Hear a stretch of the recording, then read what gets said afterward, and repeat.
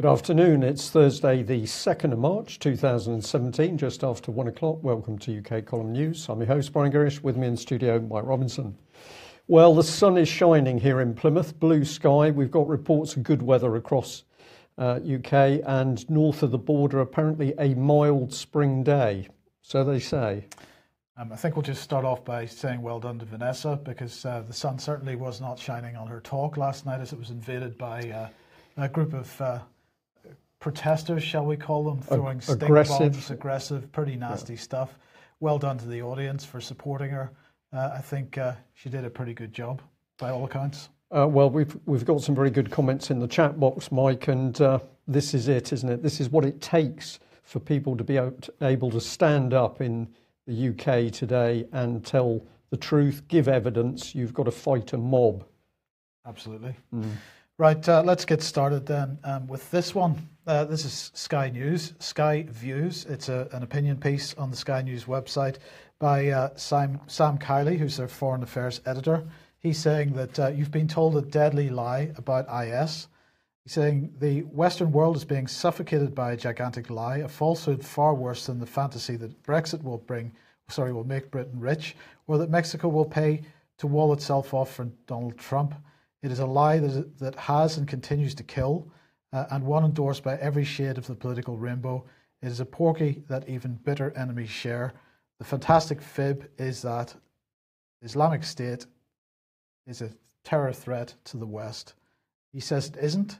Uh, not even the murderous nastiness of the Belgian bombings, the Bataclan massacre, the Nice atrocities, not the mass casualty attacks that have been headed off in Britain, or even the doomsday fantasies of the so called Islamic State's best brains are strategic problems, and our leaders know this.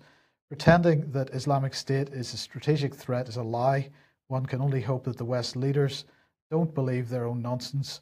And here's the crunch because there's something nasty in Vladimir Putin's woodshed. So we don't need to worry about uh, Islamic State, Brian, because it's only Vlad that we've got to be concerned about. Yeah, really incredible um, article, Mike. Um, Sky has pushed this out. Uh, is from a major writer in Sky. And so the line is um, all of the things that we've been told, including by Sky, about ISIS were false. So will Sky News now be investigating the fact that they've been fed false and fake news? Uh, and in fact, have been pushing it out and have been pushing it out. So they've been part of the overall propaganda machine pushing out the fake news. Now they calmly say none of this was true. Um, but what they're really doing is saying, don't worry about ISIS because we need to move on to the next brutal threat, which is apparently Russia. Absolutely. And, uh, well, pretty good timing because today the uh, House of Commons Foreign Affairs Committee has pushed out this report the United Kingdom's relations with Russia. It's been quite interesting to look at the uh, mainstream coverage of this report. Uh, the Russian press seems to be taking quite a positive line on it. Uh, the British press uh, being very negative about it. We must uh, we must maintain sanctions against against Russia and so on. Um, but uh, this report saying basically engagement with Russia is essential. Um, let's have a look at some of the conclusions. They say that the evidence that we've received on human there, there is some criticism of Russia. It has to be said. It's, some of it's pretty nasty, but we'll get through this. Uh, the evidence that we've received on human rights is confirmed by international groups who are concerned about attacks on civil society and disrespect for the rule of law and human rights is not only uh, in Russia itself but in Crimea. The committee shares these concerns.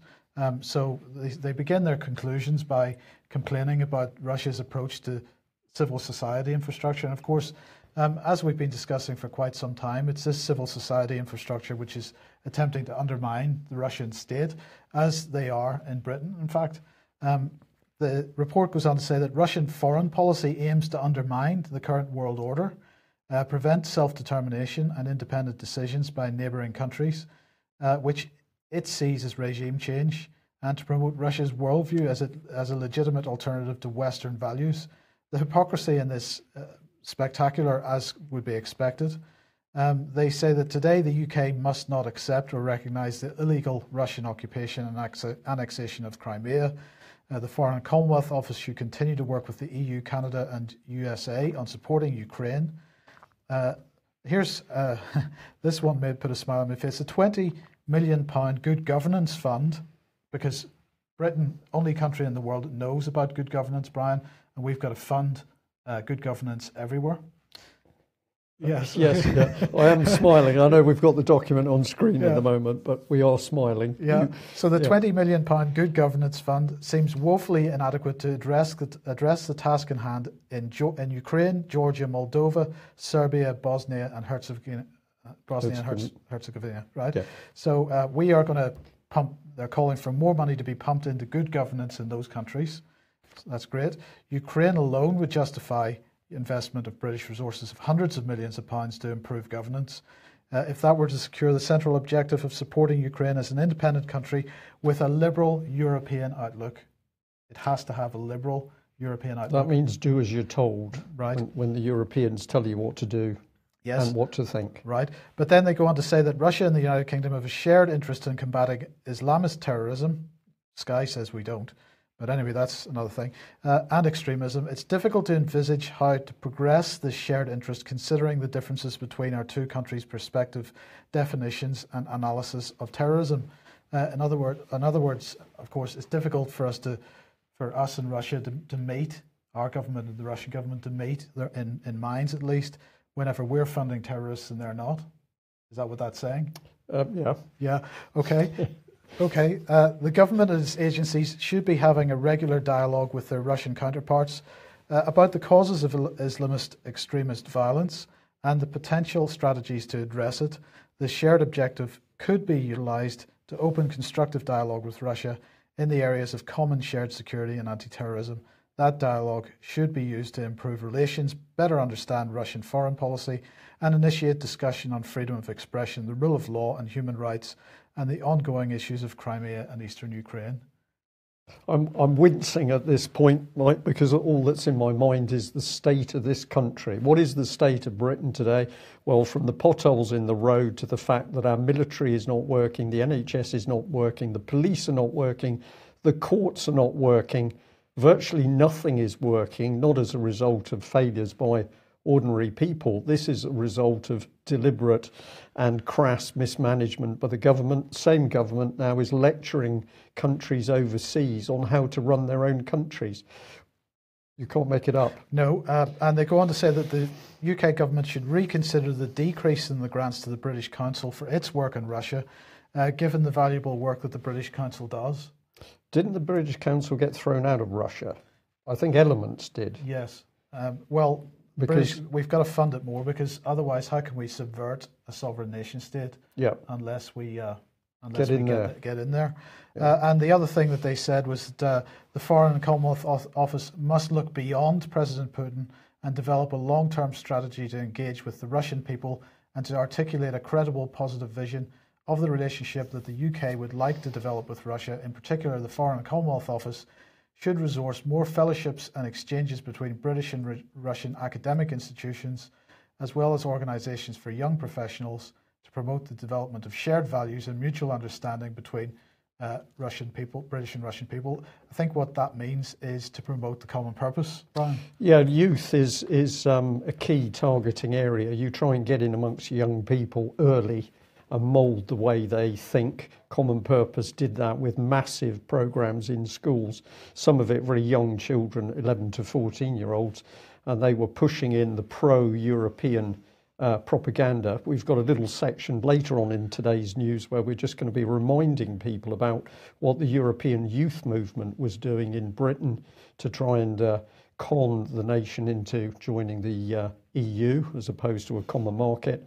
But this is the tactic get in and reframe the views and values of young people. Very dangerous stuff. Yes, but if you do that in a foreign nation, is that not called subversion? It's called subversion, an act of war, in fact. But of course, we've had BBC's own charity, the BBC Media Action, boasting that it was working on the ground uh, with. Uh, with people to unseat Assad. So that was a, an act of war on Syria carried out by BBC's own political charity. Uh, an act of war, but, but that, I mean, that can't be right because Crispin Blunt, who chairs the uh, Foreign Affairs Committee, said that the UK is not Russia's enemy.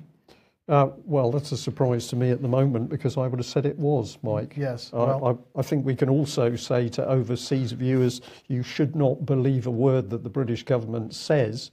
And uh, if you're not interested in deeper political matters, perhaps you'd just consider that the British government steals people's children at the moment at the drop of a hat and then denies it.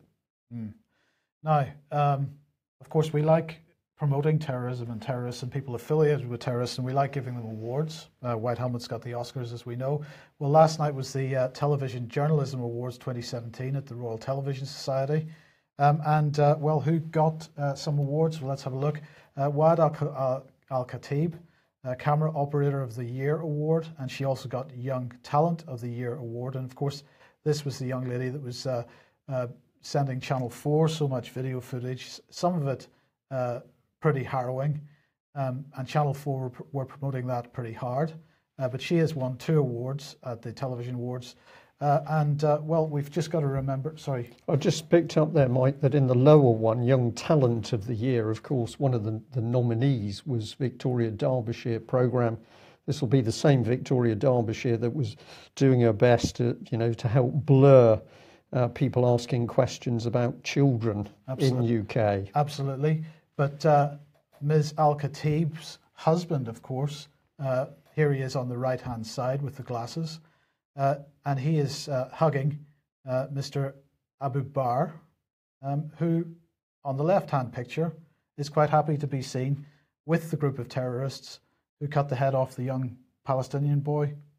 Yeah. So But it, but th- these are not, you know, th- this is incredible. We are we are continuing to give awards to people that are affiliated, at the very least, with Al Qaeda, uh, which is one of the groups that we have said for, or not us, but the government has said for uh, 20 years uh, is the enemy. yeah, It's incredible. And who else got an award? Well, of course, Channel 4 News, uh, because we know that they are particularly credible on the issue of Aleppo.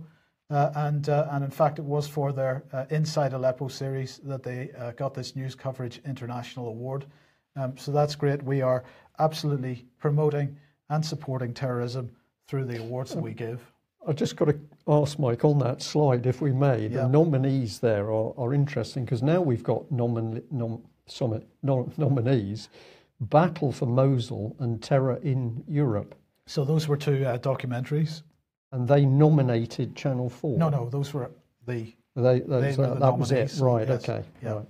yes. So so that's it. Uh, we are Yeah. keen to support this kind of activity. Well, of course, we're funding it, so so it's only reasonable that we should. It's all getting a little bit confusing, but we'll carry on through the uh, madness that is uh, political news in UK. Um, let's bring in this one. So the Express, um, not in the newspaper for some reason. Uh, this only appears uh, on their web-based news, but it says veterans demand Brexit for defence. Report says EU army ambitions could undermine uh, NATO. So this is quite interesting. Where's this all come from? Well, it's come from this organisation, Veterans for Britain. And we're going to say this is really interesting that they are following the UK column lead. Well, they're talking about a document in the paper itself. We'll come on to that. And here it is Nouvelle Vague, an audit of EU defence union plans. I find this a very interesting document, Mike, because um, why we're suddenly into defence with a sort of um, uh, high quality artwork. A very strange title, which I'll mention more in a minute. But the uh, if you go to um, the website Veterans for Britain, you can't actually get hold of this document. So they've got it into the Express, not in the printed page, but they've got it on the website. You would have thought that uh, they would have been saying to everybody, have a look at this document. But no, at the moment, we can't seem to get hold of a copy. So we're working on that. Um, but why are we interested? Well, because of course, uh, here we are at the end of, uh, well, beginning of March, and Veterans for Britain have just got this information out. Uh, but UK column, with all of the good work of David Ellis from Strategic Defence Initiatives, uh, we were pushing this out way back in January. We were warning about what was coming. It does seem to me, Mike, that uh, Veterans for Britain has picked up on the reports that we've actually been pushing out. And just to come back to this strange thing about the cover, uh, when I went looking for what this Nouvelle Vague um, is, uh, well, it's it's a cover band uh, with a variety of sort of new wave music. So I find it rather strange that this should be the cover. Um, somebody passing a message? I don't know. Don't know. Don't know. Uh, well, okay, let's have a look at some of the details. So here we've got um, the first thing we're going to pick up is a slight spin uh, because the headline is stating that the EU could control the British military beyond Brexit, but the fact is that it is controlling Britain's military and uh, it's getting more and more dangerous. This is comment by Major General Julian Thompson in the article. He says Germany's defence minister Ursula von Leyen, uh, as recently as September 2016, has said it's time to move forward to a European defence union, which is basically a Schengen of defence. And it goes on. It also confirms that the EU bureaucracy has been and is still determined to drive on taking over sovereign responsibilities as it tries to move to ever closer union. And this is a key point we're making that the EU has already hoovered up sovereignty from UK. And until we uh, bring this to the public's attention, we can't deal with it. Here's another comment. These dangers include interference with the way our armed forces are administered, the impact on the UK's defence industry and strategic resources, and the fact that such EU defence union plans leave a hook into decisions on sovereign UK defence priorities being made by the EU. So this is uh, pretty clear stuff, Mike, that somebody at last has started to look into the issues that we're being raised, that we have been raised, have been raising. Uh, but of course, there's no mention of the nuclear deterrent in this article, which I think is significant. Well, if we just stick with Veterans for Britain, um, this was part of a tweet they put out. Think Juncker's 2017 defence plans don't apply to departing UK. Our article might surprise you. So they're definitely on the ball. And if people are saying, well, is this true? Uh, there, are, there is report after report warning about what Germany is doing in particular. You've covered this in quite a lot of detail, Mike. Uh, this was another article. German army continues to swallow its neighbours. Uh, and in this particular article, some very good graphics uh, showing, in this case, how um, uh, how the Dutch are being simply sucked, subsumed. sucked into, yeah. subsumed into the German army, uh, so that their own control structures are disappearing. So it's quite remarkable, if we want to be a little bit brutal about this, when Germany unleashed the attack on uh, Russia, they did it, of course, not only with Russian forces, but Romanian forces. They had Dutch forces included, and it almost seems to be a repeat. So this is part of the uh, quote here. Uh, FAZ wrote, uh, this policy means Germany strengthens its own military power, and secondly, it creates a practical road, I think that should be mapped for the goal of European armed forces. And then the revolutionary handover of sovereignty from the Netherlands is already being seen as a proof of concept that other nations can follow, providing the closest and most varied example of how far military cooperation between two NATO states can go. Uh, except that's not quite correct because the proof of concept uh, was Britain and France. Indeed. Yes. So um, I think we ought to bring that up on screen because, of course, it was the UK column that was warning back in 2008 exactly what was going on treason conducted behind closed doors with the assistance of the Franco British Council. They were putting together the plan to lock Britain into this 50 year agreement with the French. Theresa May, Theresa May, as many people now call her, is talking about Brexit. There is no Brexit in military terms, as Britain is simply being locked into France, ultimately Germany. And in the text under the photo there of uh, Theresa May, uh, we've got an excerpt from a recently released uh, document, The Future Nuclear Deterrent, 2016 update to Parliament. And in this, highlighted in red, it says very clearly that, of course, the uh, uh, British nuclear deterrent is now being locked into the French deterrent uh, with joint facilities. And it says those are going to be fully operational in 2018. So we've left uh, the EU, Brexit apparently, Mike, uh, but what is Parliament boasting that we're going to have the next step of locking in Britain's not just armed forces, but the nuclear deterrent, and, and that is heading towards a 2018 deadline. It is incredible that we can be uh, negotiating, breaking everything apart at the same time that uh, we're locking everything together. It's, it's well, it's only the public that are told anything's being broken apart. Behind the scenes, uh, life is carrying on as normal. And I think we ought to give credit here to Guido Fawkes. He's uh, posted this. Uh, a tweet came out. Um, he says it's accurate. Major and Cameron lunched yesterday, so they had a little quiet uh, tete-a-tete in a pretty high-class restaurant.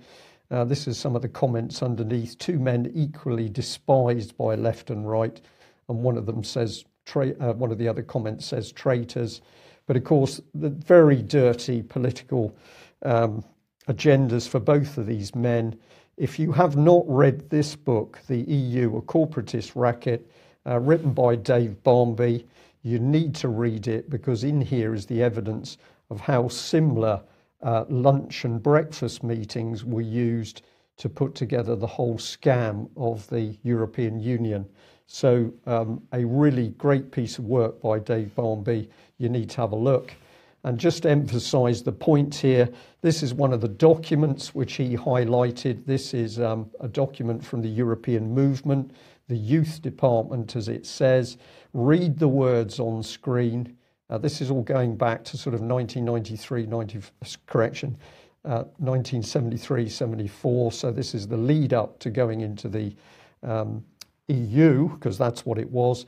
It says students to support, finance, encourage, visit, bully, and expand our 63 branches to monitor, oppose, impede, thwart, and publicise policy, NUS. This is all part of the European policy, and this was deceiving the British public because this was being done with letters, for example, as though it had come from ordinary people. It's very uh, Julia Middleton language, isn't it? Uh, very. So this is about subversion and this was carried out, of course, with the help of people in the British government. Here's some of the names at the bottom, but of course, we've got Ted Heath, uh, we've got Mr. Jeremy Thorpe, uh, many names here we can recognise. And I find it interesting that if people uh, are saying, well, is there any truth about Ted Heath and the paedophilia? Um, that's the point of blackmail for driving this country into the European Union.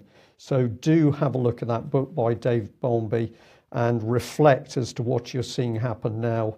And I would say from the utter lies which are coming out from the Conservative government over Brexit. Mm. Indeed. Okay. Um, events then. Uh, once again, Gilad Atzmon going to Glasgow, March the 30th. Uh, get along to that if you possibly can. Tickets are available on Eventbrite. Um, and uh, we should remind everybody about Nottingham. We should. Nottingham tickets are selling, so if you haven't got your tickets, um, you need to do that. This is going to be a really wonderful event, and as we, we're saying here, we've booked a vast space because so many people said at conferences we meet up with other people, but we never have the chance to really talk to them and get to know one another, find out what people are doing. So, this is a big space. It'll take 950 people and uh, the aim is to get people meeting each other, talking, swapping ideas, and organised, and organising themselves. No, no structure. Uh, little groups doing what you think is right, and of course, following that event on the 20, uh, 19th the 22nd of May, Ian Crane has got his AV8 at a very, very smart location. Visit his website, alternativeview.co.uk, and you can have a look at the details for that. Uh, I will be one of the speakers talking at that event. Um, Ian says there's just 40 tickets left, so if you want one of those, I suggest you get online today. Okay, now yesterday, um, the media show on BBC Radio 4, uh, Andrea Catherwood uh, presenting that, uh, and she was speaking to the major players in the continuing battle over state regulation of the press. Uh, and before we get into what was said on that program, I just want to remind ourselves who is involved in this, uh, because obviously post Leveson, uh, there were two regulator organizations set up. Uh, one, IPSO, uh, the Independent Press Standards Organization, that was established and set up by the uh, by many of the the mainstream press themselves. Um, a number of the sort of big names like the Guardian, the FT, and the Independent didn't get involved with this, but the rest did, um, and they are attempt- attempting to press forward uh, with this organisation. Now, um, the press says that it's independent, but the uh, common purpose inspired folks at the Media Standards Trust say that it's not independent, that it's too linked to the press, uh, and they say that it doesn't comply with the spirit of Leveson. So that is IPSO. And the other organisation is Impress. Now, Impress, small organisation in terms of the numbers of uh, media outlets that it organises, which is basically not very many, none. Uh, it uh, has a few local uh, newspapers, but not too many. Uh, this was the organisation set up through the Media Standards Trust, financed to a large degree by Max Mosley. Uh, it is recognised under the Royal Charter, and it was established, the Royal Charter was established obviously um, by the government post Leveson. Um, as I say, it regulates almost no one. The Media Standards Trust wants everyone regulated by its creation, uh, and uh, the press says that recognition by the Press Regulation uh, Panel and the Royal Charter uh, is too close to state control, so they don't want to get involved with this organisation.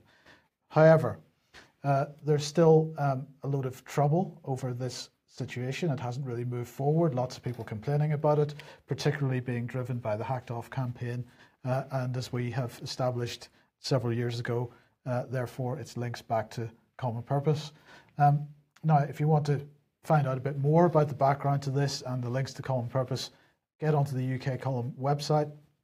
We have a series uh, of articles on this called uh, Leveson Inquiry Exposed.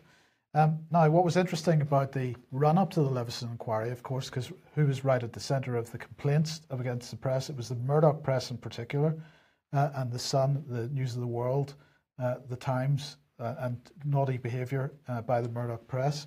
This continues because on Ipso's board uh, was Trevor is Trevor Kavanagh, who works for the Sun, uh, and he basically published an article criticising somebody that had made a complaint to Ipso about previous Sun journalism while he's on the board of Ipso.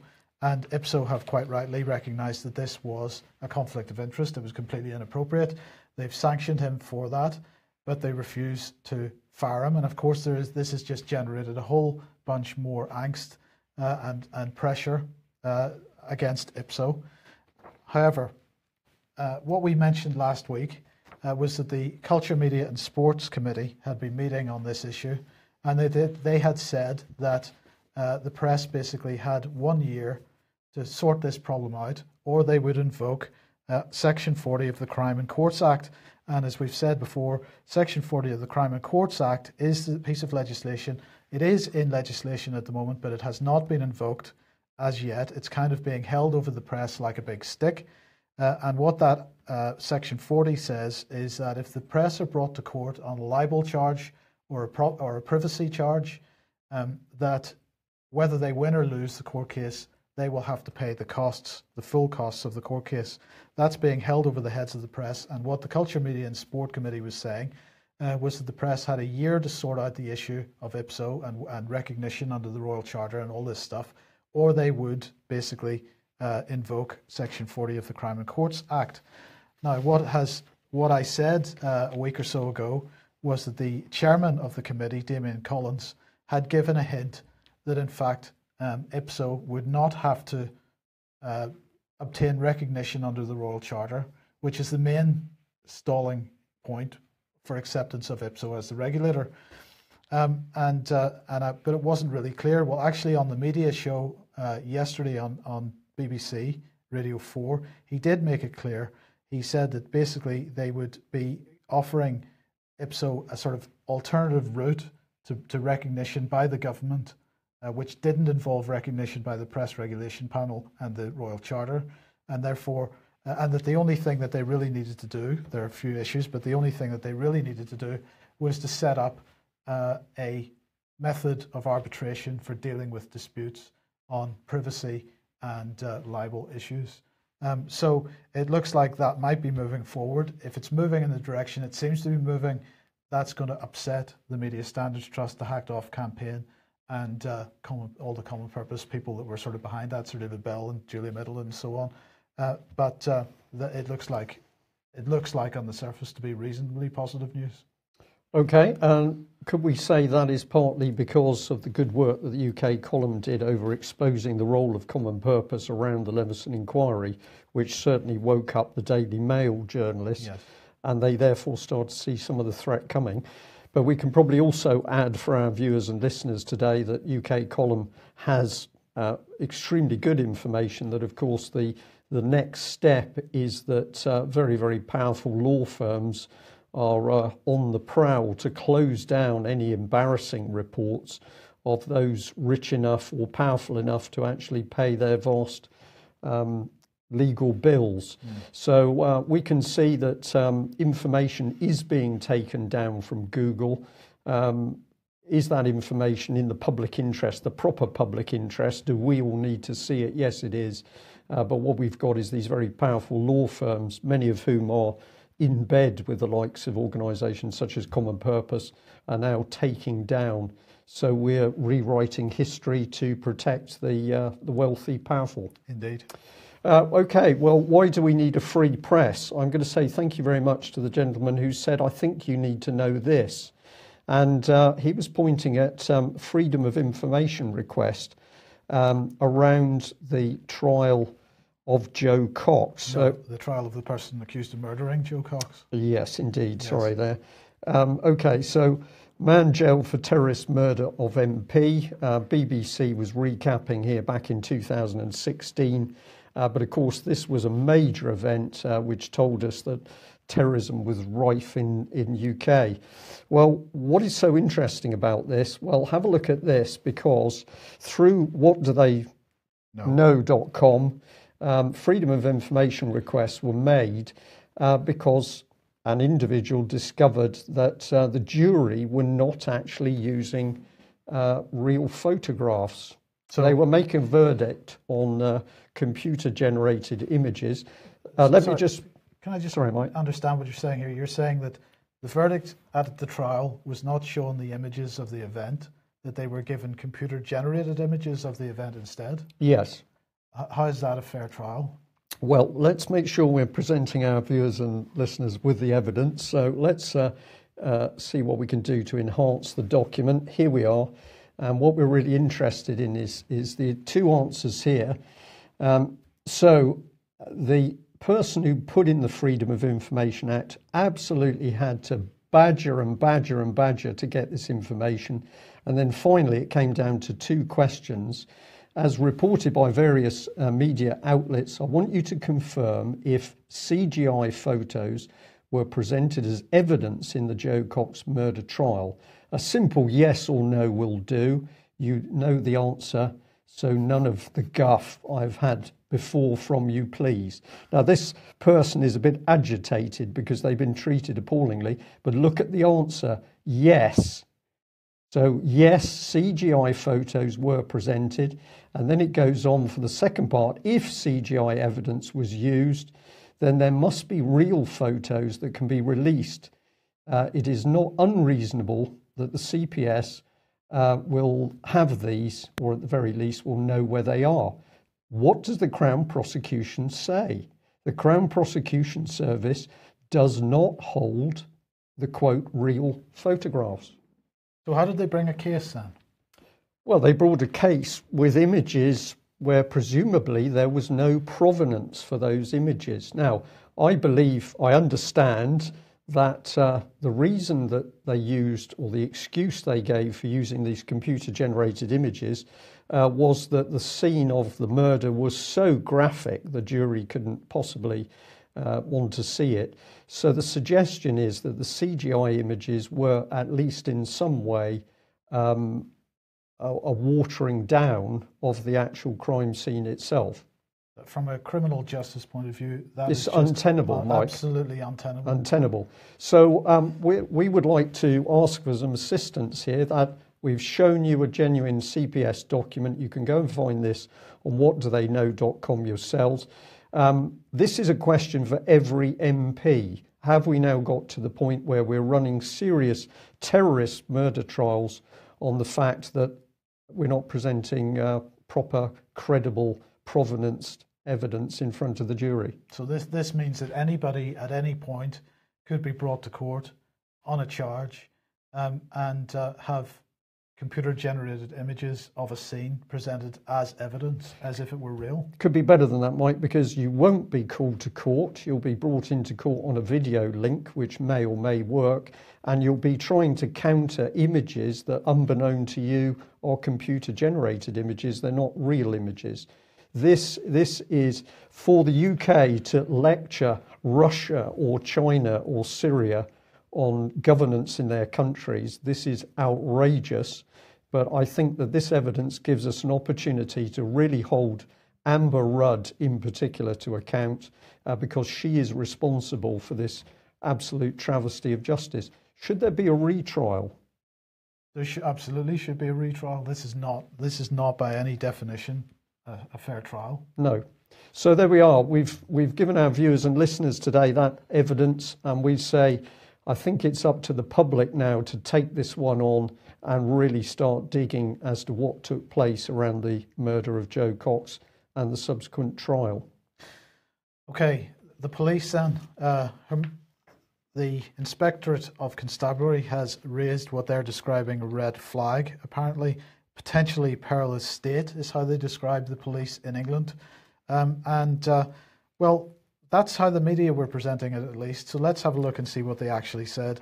Uh, they said that this year's wide-ranging inspection found that most poli- most forces provide a largely good service in keeping people safe and preventing crime, and many forces are to be commended for materially improving the service they provide for vulnerable people. However, the police service is not well equipped to stop crime happening in the first place, as it has been in the past. Uh, in particular, HMIC was concerned to find an unacceptable level of the public being put at risk as a minority of forces artificially suppress demand by downgrading emergency calls in order to justify a slower response, failing to respond to vulnerable victims, and not formally classifying gangs of, uh, of violent and dangerous criminals. Uh, they said that two of the 43 forces are outstanding at uh, crime prevention and four are outstanding at the way they tackle serious and organised crime only one force, Durham Constabulary, was found to be outstanding overall, and an additional 28 forces being judged as good. One force was found to be inadequate overall, and that was Bedfordshire Police. Sorry, uh, and they said that there are three main areas of concern highlighted by the inspection. They said that some forces' attempts to manage or suppress demand are putting people at risk. So basically, this is where people have phoned on a emergency number. Uh, it's not classified it as an emergency because maybe everybody's already deployed. So they've got to downgrade somebody in order to make their, their statistical targets. They've got to downgrade somebody's emergency call to not an emergency call, and that is putting people at risk. They say that in some cases, police officers are not carrying out sufficiently well their principal activities of preventing crime, keep, keeping people safe, and catching criminals. They say that police capabilities are needed now and will continue to be needed in the future such as skilled investigators and neighbourhood policing, um, and these are being eroded. Now, Brandon Lewis, our favourite uh, uh, Minister for Policing, said the government has protected police funding through 2015 spending review. There can be no excuse for any force that fails to deliver on its obligations. That's great, Brandon. Well done. Uh, well, the NPCC doesn't quite agree uh, because what they said over the last five years, police budgets were reduced by 22%, and we lost 32,334 officers and a staff at a time when crime is changing, becoming more costly and complex to investigate, and other calls for our service have increased. Uh, it's a simple reality that we're not required to prioritize. Sorry, that we're required to prioritize more. There are no easy answers. We have to find long-term solutions and so on. And of course, what's their answer? This is the, the National Police Chiefs Council. Uh, their answer is to ask for money through the Transformation Fund because the way to deal with this problem isn't to put more police on the streets and frontline jobs, more neighbourhood policing. No, no, we've got to transform the police further. And that's what this is all about at the end of the day. Now, uh, what were they saying as they were discussing this in the various uh, news media this morning? Basically, this, they're saying that demand for policing is changing. And what's the cause of this? Because they're having to deal with much more uh, mental health issues. Um, so, what sort of struck me, Brian, was that this seems to be a fallout from the underfunding of the or the complete demolition of the National Health Service. We're not providing proper social care and care in the community. If you talk mental Ill, Ill, um, mental illness or mental problems, Mike, care in the community absolutely pushed people out of, of where they could get uh, treatment and care uh, and made them exposed and vulnerable in the community. Now, I live in the sea, on the seafront in, in Plymouth here, and last night, for example, there was uh, an old lady with dementia went missing, and they had police right along the uh, the seafront. Uh, they had helicopters in the air. Uh, these were guys taken away from other police duties because that lady hadn't been cared for or something had yeah. happened. She'd got it. she'd she'd uh, walked away and and had they'd lost track of her. So this is going on all the time. Right, but can, I'll just respond to that, Mike. Um, old lady missing, the police are doing something, that's excellent. Isn't it amazing, though, that we, we haven't got police helicopters and police everywhere looking for the 345 Syrian children that have gone missing? That everybody just says, well, it's a shame they went missing, we don't know where they are, but nobody's looking for them.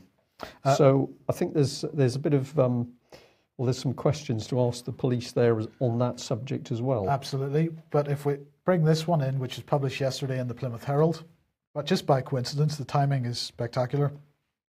This is a lady called Laura Beale, uh, and she's decided to resign from uh, Devon and Cornwall Police, and her she made her resignation letter public. It became an open letter. She published it on Facebook.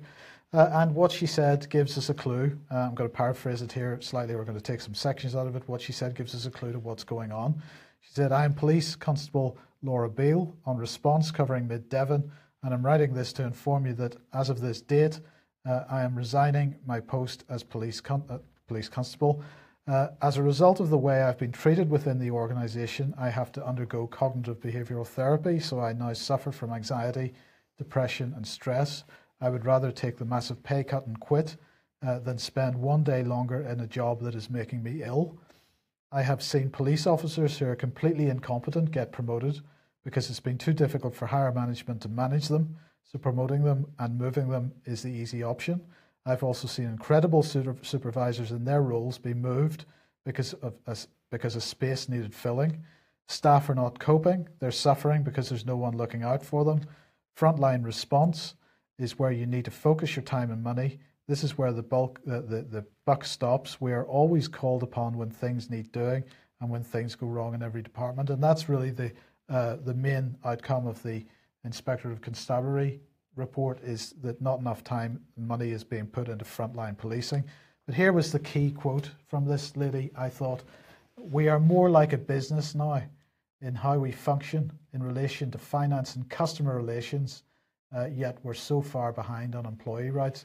But this is exactly it, Brian. Uh, the commercialisation, the corporatisation of the police, uh, and we're seeing the outcome of that. Yeah, and and I was fascinated to see that we're more like a business now because the other day when I was trying to find out a number for another police force, I phoned 101. It's answered by Devon and Cornwall Police, and uh, the, the, they informed me that the call was being monitored um, for training and, quote, business purposes, unquote. Uh, and I said to the lady who answered, that's unusual. And she said, well, we have to say that now, but that's it, training and business purposes. Um, so where can we go now? Well, let's bring in this one back to the Plymouth Herald. Police face 20 million budget black hole after losing legal battle over supermarket giant store. So, what's the story about? Well, Devon and Cornwall Police at Exeter decided they're going to sell off property to a supermarket. Uh, the deal went wrong, and now they're left with uh, a black hole. So, let's have a look at it and then we can ask some questions. So, retailer Morrison's signed an agreement to build a new store on land at police headquarters at Middlemoor and Exeter. Police earmarked 20 million of proceeds from the deal to build a new police station and custody suite. Uh, however, Morrison's never started building work on the planned store, triggering a legal battle. Uh, the plans received the green light in 2014 for a big supermarket, petrol station, 83 homes, and a new criminal justice centre uh, also known as a custody facility for the police. So, my question is how were the police able to sell public land? When did the police become a business and subsume that public land to be able to sell it?